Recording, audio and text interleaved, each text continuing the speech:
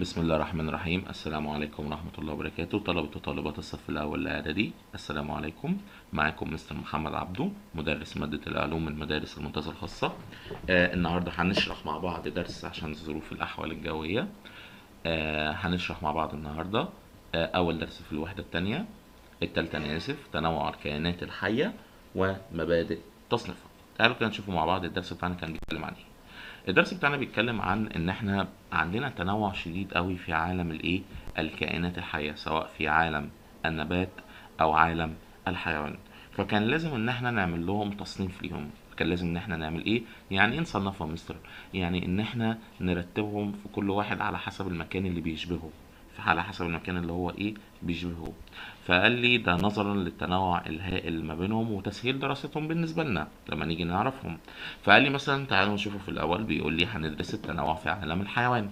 طب لو قال لي على حسب الحجم هقول له حسب الحجم في حيوانات كبيرة الحجم ويوجد حيوانات صغيرة الإيه؟ الحجم.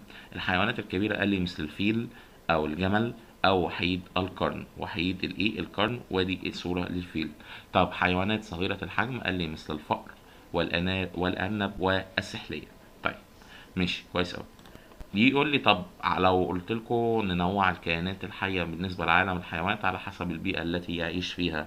هنقول على حسب هو في حيوانات بتعيش في الماء وحيوانات تعيش على اليابس. أمثلة للحيوانات التي تعيش في الماء قال زي التمساح أو الأسماك أو فرس الإيه؟ النهر. وده سبع البحر برضك نعتبره كمثال معاهم. طيب الحيوانات التي تعيش على اليابس قال لي مثل الكلب أو الحصان أو الأسد. ودي طبعا صورة برضك للفرس النهر من ضمن الحيوانات التي تعيش في الإيه؟ في المية. طيب يجي يقول لي طب بالنسبة للتنوع في عالم النبات قال لي على في أول حاجة على حسب الطول هنميزهم لأشجار ضخمة وأعشاب قصيرة. قال لي الأشجار الضخمة مثل الكافور مثل نبات الكافور اللي إحنا شايفينه هنا أو الإيه؟ أو النخيل اللي باينين في الصورة ده شكل الكافور وده شكل نبات الإيه؟ النخيل. طب لو أعشاب قصيرة قال لي مثل البرسيم أو الإيه؟ أو الجرجير. طيب على حسب طب حجم الأوراق. تاني واحدة على حسب حجم الإيه؟ الأوراق. قال لي في نباتات أوراقها الكبيرة مثل نبات الموز حجم الورق بتاعه بيبقى كبير جدا. أو نباتات أوراقها صغيرة مثل نبات الملوخية. طيب نيجي نشوف اللي بعده. قال لي التنوع في عالم الكائنات الدقيقة. بيقول لي في كائنات كده إحنا مش بنشوفها بعيننا العادية بعيننا العادية. قال لي كائنات لا ترى بالعين المجردة ولا وتنتشر في الهواء والماء والتربة. قال لي مثلا لو أنا عارف طبعا في جهاز عندنا في المعمل هنبقى نشوفه إن شاء الله اسمه الميكروسكوب. بيقدر مثلا يكبر لي الحاجات اللي أنا مش بشوفها بعيني. قال لي أنا لو خدت نقطة مية أو أو نقطة من بركة مية هلاقي حواليها كائنات أنا لسه ما شفتهاش ولا أعرف عنها حاجة. لا ترى بالعين المجردة في الأساس. فبيقول لي الكائنات دي بيسموها الكائنات الدقيقة. هي كائنات حية مجهرية لا ترى بالعين المجردة وتنتشر في الهواء والماء والتربة. الأمثلة اللي علينا الثلاث أمثلة دول الكائنات الحية دي بتحتوي على خلية واحدة فقط.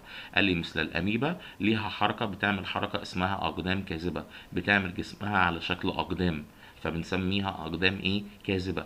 في نوع تاني اسمه الباراميسيوم بيبقى فيه أجسام كده ريش حاجة شبه الريش الصغيرة طالعة من بره جسمه دي اللي بتساعده على الحركة اسمها الأهداب بيسموها باسم الأهداب. طيب الشكل الثالث كائنات بنسميها باسم اليجولينا. اسمها إيه؟ اليجولينا. طريقة حركتها عبارة عن ديل كده صغير بيسموها باسم الأصوات. ده اللي بيساعدها على الحركة. ودول الثلاث أمثلة للكائنات الايه؟ الدقيقة. ننتقل اللي بعد كده يعني إيه علم التصنيف؟ قال لي هو أحد فروع علم الأحياء الذي يبحث في أوجه التشابه والاختلاف بين الكائنات الايه؟ الحية. طيب هنصنف مين الأول؟ تصنيف النباتات. قال لي على حسب حاجتين يا إما على حسب الشكل الظاهري ليهم يا إما على حسب طريقة التكاثر طيب رقم واحد قال لي حسب الشكل الإيه؟ الظاهري. قال لي هنقسمها لنوعين يا إما نباتات عادية يعني إيه نباتات عادية؟ قال لي آه بقدر أميزها نباتات تتميز إلى جذور وسقان وأوراق. قال لي مثل القمح أو مثل الذرة أو مثل النخيل أو مثل نبات أو أو شجرة الكافور. طب نباتات ثلثية أو الطحالب بيسموهم كده هي نباتات لا يمكن تمييزها إلى جذور وسقان وأوراق. الأمثلة على كده الطحالب بجميع أنواعها سواء الطحالب الخضراء أو الطحالب الحمراء أو الطحالب البنية. طيب قال لي حسب طريقة التكاثر ونركز هنا مع بعض. قال لي طيب قال النوع الأولاني في نباتات بتتكاثر عن طريق حاجة اسمها الجراثيم أو حاجة بنسميها باسم الإيه؟ الصراخص طب قال لي يعني إيه الصراخص قال لي دي نباتات بتعمل تكاثر لنفسها إن هي بتكون حاجة اسمها الجراثيم. بتكون لنفسها جراثيم دي اللي بتساعد في زيادة أعداد نباتاتها.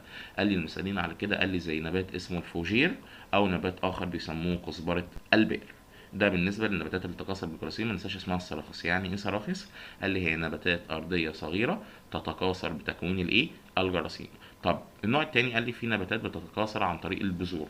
طيب بيجي لك صنفها نوعين النوع الأولاني بيسموه معرات البذور. بيسموه باسم إيه؟ معرات الإيه؟ البذور. يعني إيه معرات البذور؟ بنلاقي الشكل شايفين الشكل اللي أنا بشاور عليه دلوقتي ده؟ ده بنسميه إن هي بذورها بتبقى جوه المخاريط ومفيش حاجة مغطياها فقال لي هي نباتات تتكون بذورها داخل الإيه؟ المخاريط. قال لي زي نبات الصنوبر أو نبات السيكس. طيب وبيقول لي على فكرة معلومة إن السيكس ده بيبقى شبه النخيل بس يبقى على شكل أصغر منه. بيبقى طوله 2 متر تقريبا. طيب بالنسبة للنوع التاني قال لي في نوع تاني اسمه مغطاة البذور أو بنسميه النباتات الزهرية. قال لي هي نباتات بتكون أزهار وبالمناسبة معرات البذور لا تكون أزهار.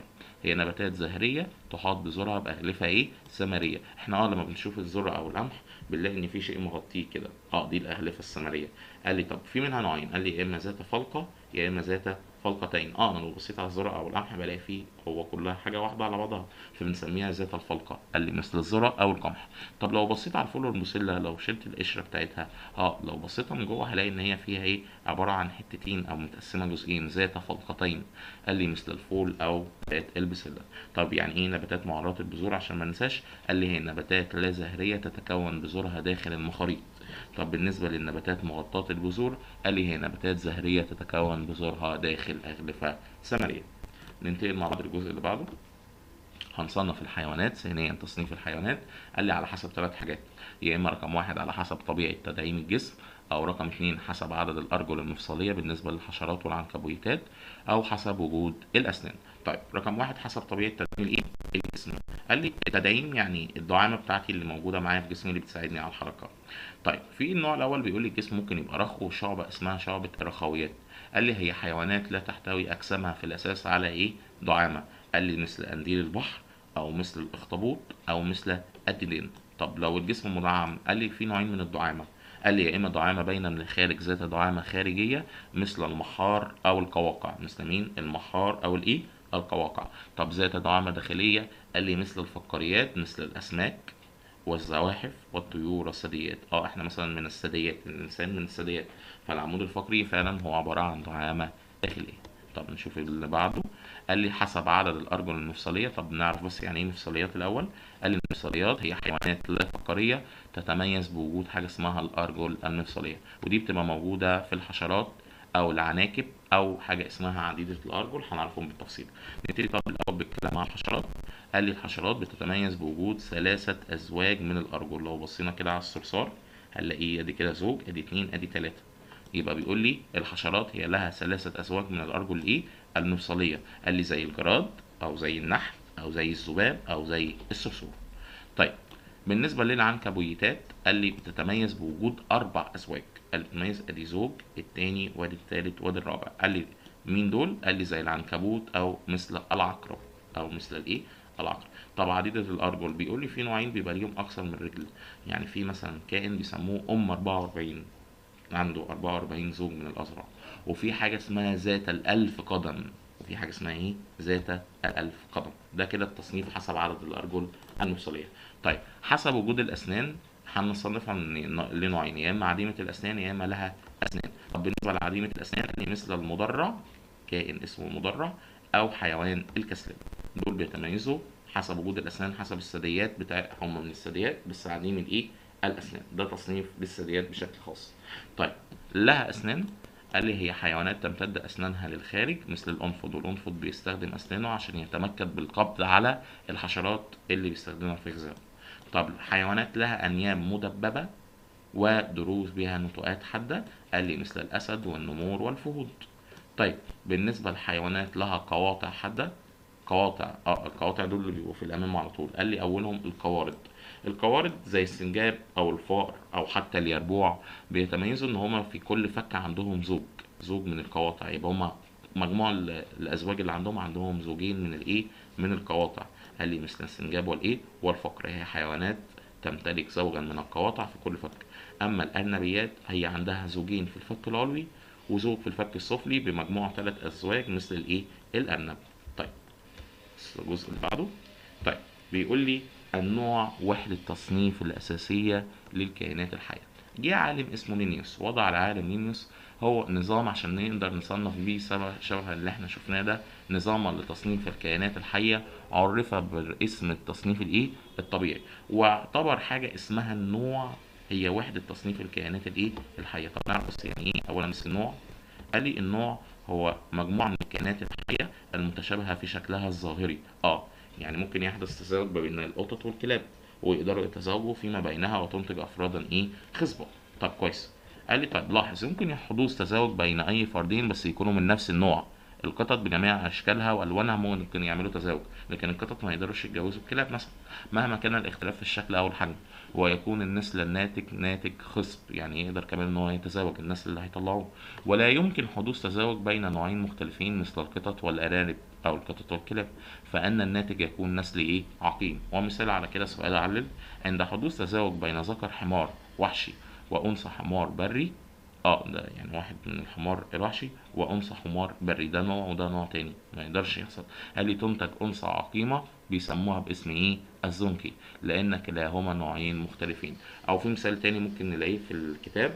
قال لي ذكر الحمار ممكن يعمل تزاوج مع أنثى الحصان وبينتجوا أنثى عقيمة بيسموها أنثى البغل وبرضك ما يعني بتبقى فرد غير خصب لأنها كلاهما من نوعين مختلفين فبتنتج أنثى عقيمة أو أنثى البغل ده كده كان يعتبر ملخص سريع للدرس بتاعنا. آه يعتبر خلصنا الدرس وهننزل برضك التدريبات بتاعته عشان نتدرب عليها. شكرا جزيلا وأشوفكم في الفيديو القادم إن شاء الله.